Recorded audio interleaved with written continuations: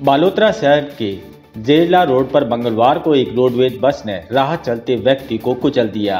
इस हादसे में घायल शख्स की इलाज के दौरान मौत हो गई। जानकारी के मुताबिक शहर के औद्योगिक क्षेत्र जेला रोड पर मंगलवार सुबह एक व्यक्ति फैक्ट्री में काम करने के लिए घर से निकला था। इसी दरमियान घर से मात्र 200 मीटर की दूरी पर ही तेज रफ्तार रोडवेज़ बस ने पैदल राह चल रहे व्यक्ति को कुचल दिया। इसके बाद आसपास के लोगों ने निजी वाहन के माध्यम से बालोतरा के राजकीय नाहटा अस्पताल पहुँचाया गया, जहाँ पर इलाज के दौरान व्यक्ति ने दम तोड़ दिया। मृतक व्यक्ति की पहचान लक्ष्मीनारायण लोहार के रूप में हुई। पुलिस ने मृतक का शव पोस्टमार्टम के लिए राजकीय चिकित्सालय के नाहटा अस्पताल की मोर्चरी में रखवाया। पुलिस द्वारा पोस्टमार्टम के बाद शव परिजनों को सुपुर्द किया जाएगा। वहीं बालोतरा पुलिस ने मौके पर पहुंचकर घटना की जानकारी ली। कोई व्यक्ति था, खड़ा था और यहाँ से आए दिन गाड़ियाँ स्पीड चलती है। पूरा पुल जाम है इसकी वजह से यहाँ पे गाड़ियाँ इस, इसी रोड पे जाती है। चाहे गवर्नमेंट हो या प्राइवेट हो, उसका स्पीड बहुत ज़्यादा है। संकड़ी गड़िया है और यहाँ पे राहगी भी खूब है यहाँ पे। करीबन आठ से नौ सौ फैक्ट्रियाँ आने वाले लोग यहीं पे हैं शाम को मजदूर। स्पीड कम नहीं कर रहे गाड़ियों की और आज एक आशा हो गया, एक आदमी था जो खाने, उसके कमाने वाला कोई नहीं था, पिछला पाँच साल घर बैठा है।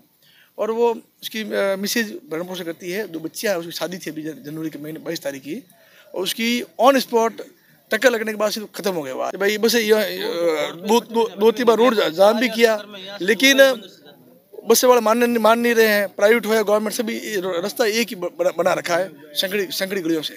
सुबह आ रहा था बिल्कुल किन्नर किन्नर चल रहा था।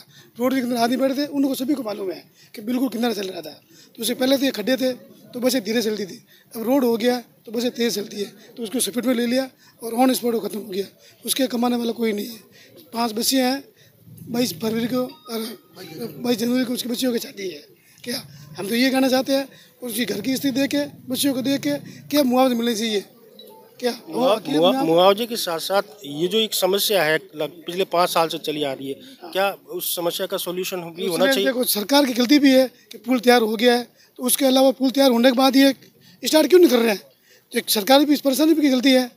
उसके बाद में तन किलो क्यों निकलते हैं? भाई, पोस्ट बहुत बड़े उससे यहाँ से निकालनी चाहिए ना? तो दोनों तरफ़ से प्रशासन की गलती है। जानकारी के मुताबिक बालोतरा शहर के भीतरी क्षेत्र में ओवरब्रिज बनकर तैयार हो गया है, पर अभी तक ओवरब्रिज शुरू नहीं हो पाया है, जिसके कारण से बसें और बड़े वाहन संकरी गलियों तथा रिहायशी इलाकों से गुजर रही है, जिससे आए दिन हादसे होने की आशंकाएँ रहती है। हादसे के बाद आसपास के स्थानीय लोगों ने ओवरब्रिज को शुरू करवाने की मांग की, क्योंकि संकरी गलियों से बड़े वाहन आवागमन के कारण पैदल राहगीरों तथा छोटे वाहन चालकों को परेशानियों का सामना करना पड़ता है। स्थानीय प्रशासन द्वारा व स्थानीय नेता ओवरब्रिज को शुरू करवाने को लेकर बात को गंभीर नहीं ले रहे, इसी को लेकर लोग ने सड़क पर ही धरना देकर प्रदर्शन किया।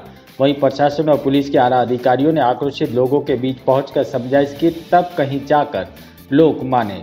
पुलिस ने शव का पोस्टमार्टम करवाकर परिजनों को सुपुर्द कर दिया और मामला दर्ज कर जाँच शुरू की।